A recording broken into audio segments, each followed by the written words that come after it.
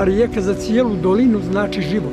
Ulovim pastrmku, ulovim lipljena, ima mladice, čista planinska rijeka koja te tri vrste plemenite ribe salmonide ima u sebi. A da bi se sačuvala bistrina Bjelopoljske bistrice za buduće generacije, opština Bjelopolje sprovodi reviziju zaštićenog područja Đalovića Klisure u dijelu gornjeg toka ove rijeke.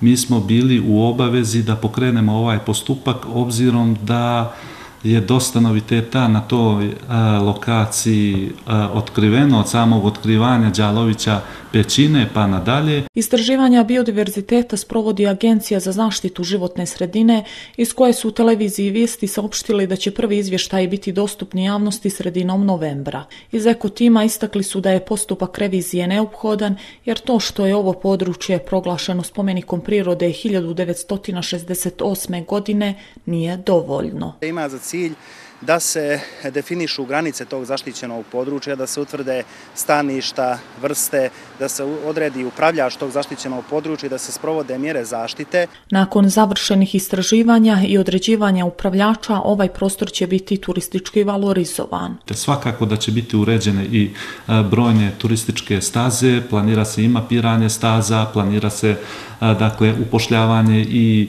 lica koje će biti zaduženo za zaštitu tog prirodnog dobra, upošljavanje turističkih vodiča, bit će organizovani i kampovi, razne radionice. Može brendirati opštinu Bilo polje kao ekološki grad. Iz opštine su saopštili da je u planu i inicijativa za zaštitu Đalovića pećine posebnim nivom zaštite kako bi se ova priča zaokružila.